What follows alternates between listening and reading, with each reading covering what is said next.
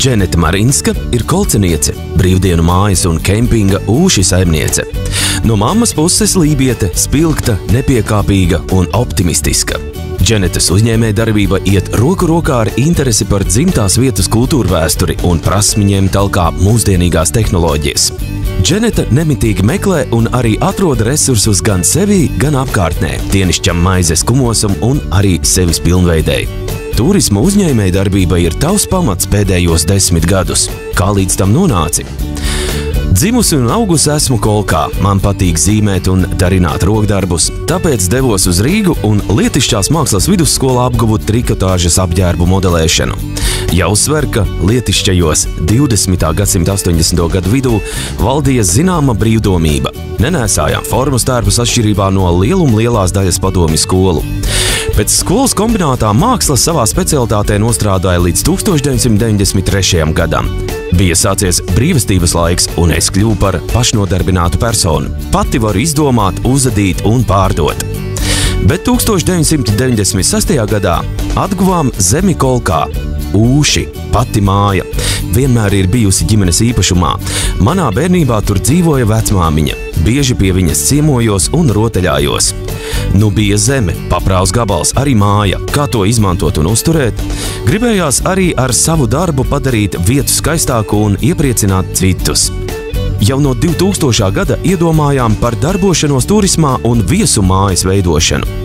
Tolaik turisms Latvijā gan vēl tikai kuņojās bērnu autiņos, bet mēs abas ar māsu Vinetu sapratām, vieta mums ir ideāla un ko citu iesākt. Saimniekošana bija mainījusies. Ja neturi lopus, tad nav ar ko pabarot lieso smilti, pirkt mēslus. Tam nav ekonomiska pamatojuma. Tā iesākām cita veida saimniekošanu laukos. Piedāvājām turistiem naktsmītnes. Jau pirms tam pie mums brauca ģimenes draugi un radi no Rīgas. Izmēģinājāt sniegt turisma pakalpojumus pilotprojektā? Jā, tā pagājuši jau gadi desmit. Turistu pieplūdums sākas aprīlī. Tīri putnu vērotāji, kāds anglis ierodas katru otro gadu un nodzīvo mēnesi. Ir tādi, kas te uzturas divus mēnešus. Caurmērā putnotāji te dzīvo līdz maija vidum, un viņi ir nozīmīgi klienti manam biznesam. Vasarā īstais pieplūdums ir jūlijā un augustā. Tas gan atkarīgs no laika apstākļiem. Pīķis ir nedēļas nogalēs. Mājā ir vietas pieciem viesiem, plus vēl varam piedāvāt dažas papildus gultas. Telšu laukumā vietu daudz ap simtu. No jauna neko neesam cēluši. Viesiem paredzēta daļa pašu mājas. Ziemā ierodas retais, tad remontējos, no darba nebaidos. Ja šķiet, ka pietrūkst līdzekļu dzīvošanai, tad allaži atrodu darāmo. Tavu ieinteresētību kultūra vēsturē atspoguļo vairāki darbi, piemēram, iedziļināšanās Krišjāņa Valdemāra devumā, kas vainagojusies 2009. gadā izveidotajā filmā par zēģelnieku laikmetu piekrastē. Tāpat kā viss iepriekšējais, tas cieši saistās ar turismu un pašas interesi. Ja zinu vietas vēsturi, tad man ir pamats, uz kura stāvēt. Tā īstenojās biedrības Latvijas Nacionālais parks rosināts projekts, kurā mani iesaistīja SIA kolkas raksta rīkotāja direktors Jānis Dambītis. Mērķis bija radīt skolās un pieaugušo izglītībā izmantojumu vizuālu materiālu. Iesaistījos un tapa filma Burinieku gadsimts par Krišāni Valdemāru, par kuģu būves uzplaukumu, par tautiskās pašapziņas emocionālā pacēluma laiku. Izdevās gluži labi. Skatītāji, tostarp vēstures skolotāji, atsauksmes ir labas. Šis materiāls izplatīts Latvijas skolām, bibliotēkām, muzejiem.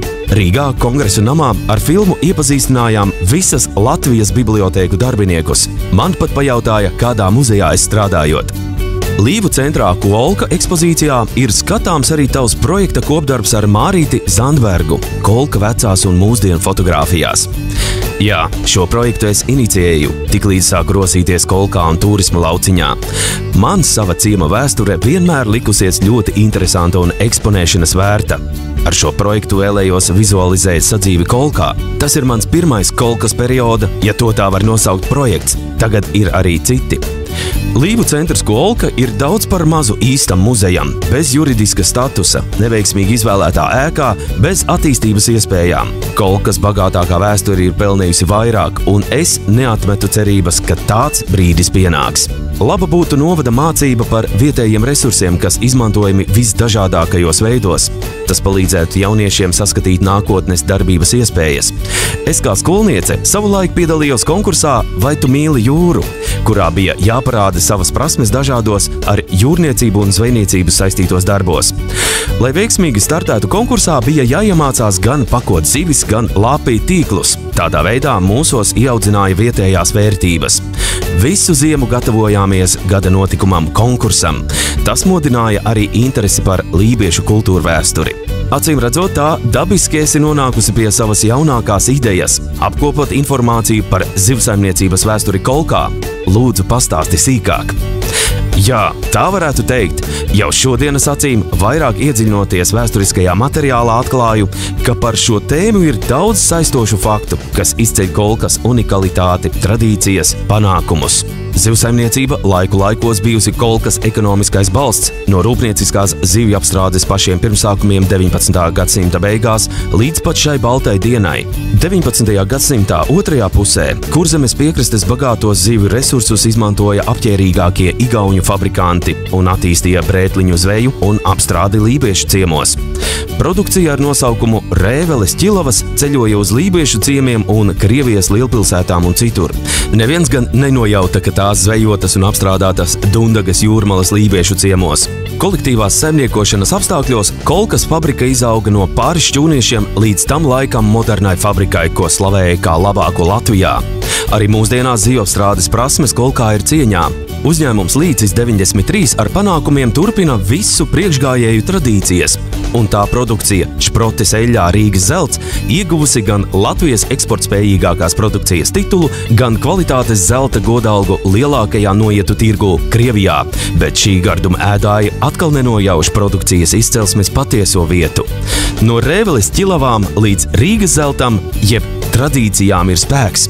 Tā ir pastaiga industriālās kolkas vēsturē gan vārda tiešajā nozīmē. Tas ir fiziski apmeklējot objektus, kuri saistīti ar zivju apstrādi kolkā, gan pārnestā nozīmē ceļojot laikā. Pastaigas laikā interesanti tiekas ar visdažādākajiem personāžiem. Zvejnieks sievu, kas bijusi atsalieciniece ķilavnieku rūpalu uzplaukumam un pēckara grūtībām lībiešu ciemos 20. gados.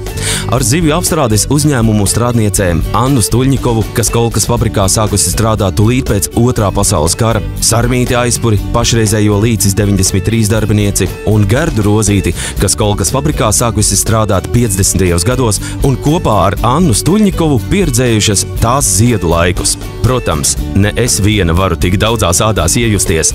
Annas Sarmītes un Gerdas personīgo pieredzi aprobējušas vietējā amatieru teātra aktrises Marika Zvirbulē un Ineta Ūpe. Tas viņām padodas ļoti dabiski. Savukārt tikšanās ar kolektīvās saimniekošanas laiku galveno varoni, Kolkas zivju konservu fabrikas direktoru, arī kolkoza brīvais zvejnieks priekšsēdētāju Jevgeņu Morozovu notiek filmā Kolkas raga saimnieks 1971. gads. Un, protams, to visu noslēdzam ar Latvijas labāko šprotu Rīgas zelts degustāciju, ražotas Sijā līdzis 93 kolkā, kur zemē ar Tā nu iznācis, ka pati neesmu tieši iesaistīta zivrūpniecībā, bet man ir iespēja par mūsu tradīcijām bagāto vēsturi pastāstīt citiem.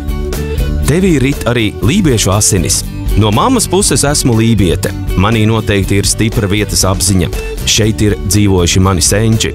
Asins grupa nav tik svarīga. Neviena tautība nav labāka par citām.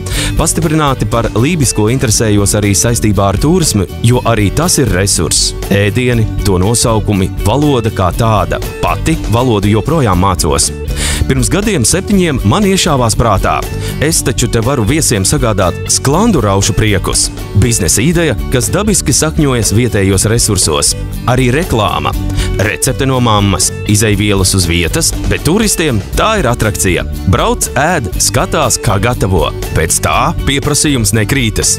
Mana darbošanās ap sklandraušu cepšanu bija nonākusi zemkopības ministrijas redzeslokā, un tās pārstāvji rosināja pieteikt sklandraušus Eiropas Savienības pārtikas produktu schēmai garantēta tradicionāla īpatnība, kur Latvijai vēl nav neviena produkta.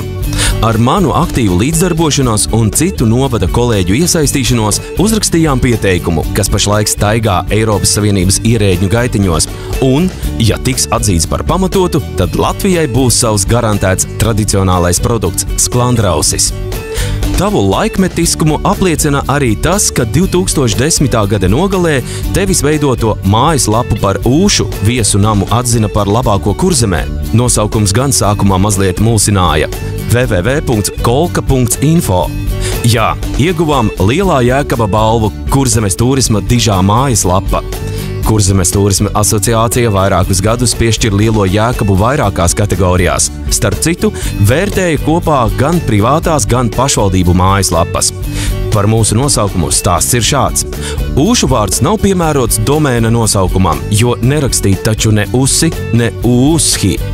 Kāda ārzemju firma pārdeva domēnu ar nosaukumu, kas bija vistuvāk manām vajadzībām un būtībai. Bet www.kolka.info esmu izveidojusi jau pirms gadiem astoņiem, un katrs tās apmeklētājs saprot, kas viņu kā ceļotāju pie manis sagaida. Šogad mājaslapai veidoju jaunu saturu un vizuālo noformējumu. Ir pagājis krietnes laiks kopš pirmās versijas, pienācis laiks pārmaiņām. Domāju, ka būs tikpat laba kā iepriekšējā. Un ko nozīmē tīmekļa vidē nepiemērotais lībiešu izcelsmes vārds ūši? Ūž lībiešu valodā ir jauns, jo mūsu mājvieta bijusi viena no pirmajām kolkā. Pateicoties novadpētnieces Baibas Šuvcānes grāmatai Senais lībiešu ciems kolka, tās vēsturē iespējams izsakot kopš 18. gadsimta vidus, bet ziņas par maniem priekštečiem šajā vietā sniedzas līdz 19. gadsimta vidum.